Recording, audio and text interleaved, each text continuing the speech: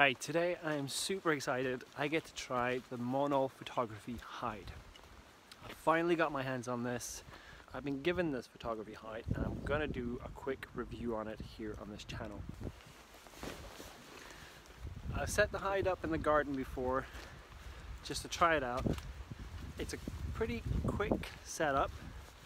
It took me a couple of minutes to get the main bit of it set up a little bit of trouble with the windows. It has six different windows that you can shoot out of. So plenty of options. And so far it seems like a great hide. Now though, I'm going to take it down to a location where I want to put it for the next couple of weeks. And we shall be going back to pretty much every day to try and capture some wildlife.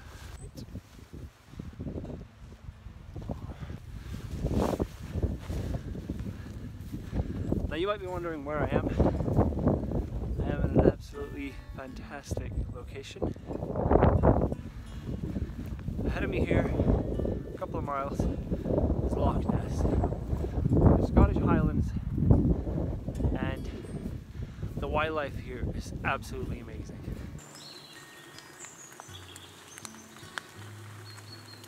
If you stick around to the end of this video, and I'll show you where I put this hide and why I've chosen this location for the hide. I've been given this hide, but I will give my honest first opinion of it. So, let's go.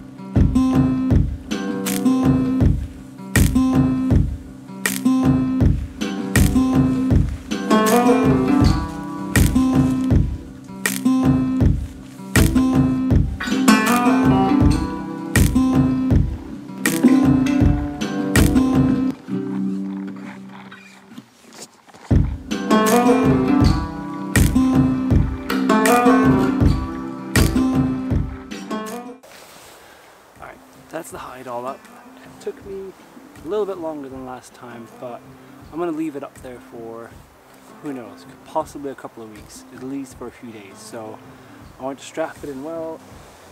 The rain cover takes about a few more minutes, maybe five minutes to get the tent pulled in and get it standing up. But other than that, it's fairly quick to get up. Come with me and I'll show you around it. Now, one of the great things about this hide is that it's spacious. I'm about 185 centimeters. Come on in. And I can lie straight down in it. I could sleep in here if I want to. Right, so I mentioned that. So I mentioned this hide is really quick to get up. One thing that's not that quick is getting these windows attached. And there are six holes that you can shoot out of and also six bottom holes that you can, if you want to shoot low to the ground. Now these it didn't, it took a little bit of research, a little bit of experimentation, and I got it eventually, but it would be good if there were some instructions on how to put on the windows.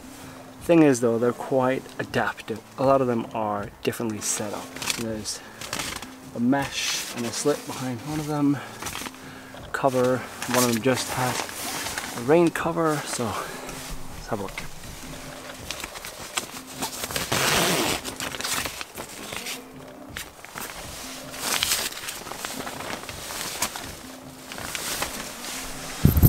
Options of setting these windows up exactly how you want to. So it takes a little bit of time to get them up the first time, but once they're up, they're up. As I set this up in the garden, I've had the windows attached the whole time, and now they're ready to go when I'm down here where I want to be. So along with these top windows, see here, I got the rain cover on.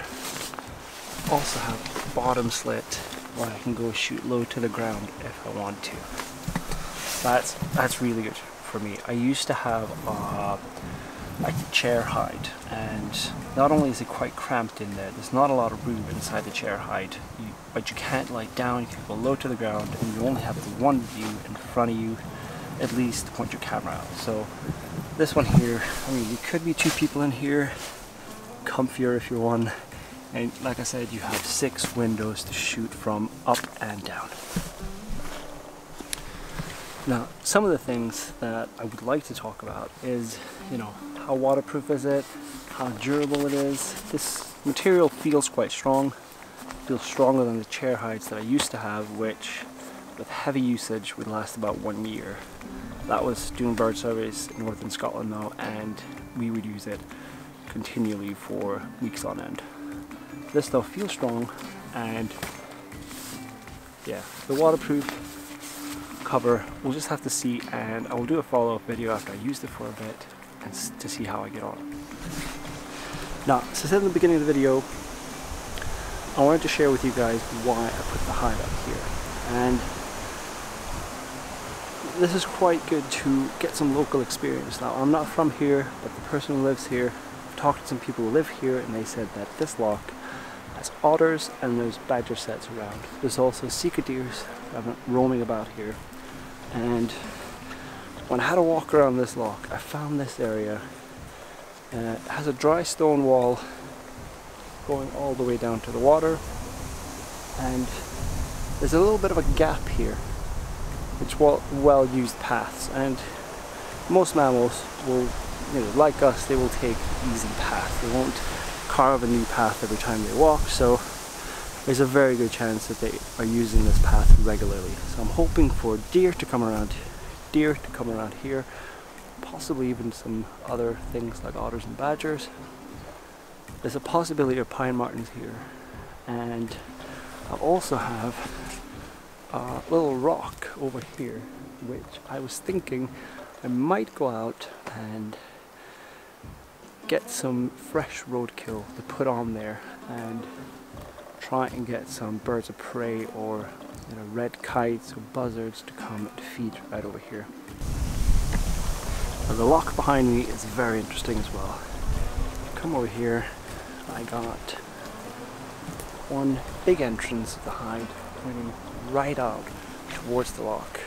As you can see behind me, and there's a good chance an otter could come by here, and there's also a chance of birds on this loch and I'll position the hide so that I can use the front entrance and the side entrance to photograph the stone wall over here. And I got a side two side entrances here. I want to go for the rock over there where I might put some um, some bait out for some birds of prey. And got the back entrance towards the loch so I should cover all my bases.